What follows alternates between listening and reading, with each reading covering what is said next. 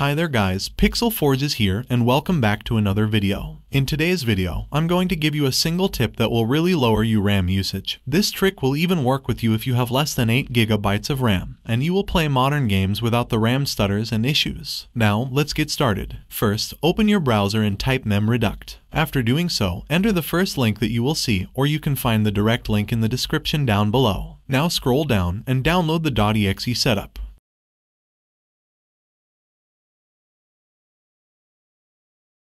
After downloading it, run the setup and it's easy and simple to install like the other apps, just press next, next, next, and install. I already have the app so I will close the setup, but for you, just press the install button. After installing it, a menu will appear that has states of the RAM usage. Down in the menu you'll see clear memory, press it. Now for the first time, it will ask you for permission, click on yes. And as you can see the RAM usage has decreased. Now as we are done, minimize it, and you'll find it in the hidden icons here. If you want to set up it to delete the RAM cache automatically, open your hidden icons and look for a square that has a number in it. Right click on it and copy the settings that I'm currently using.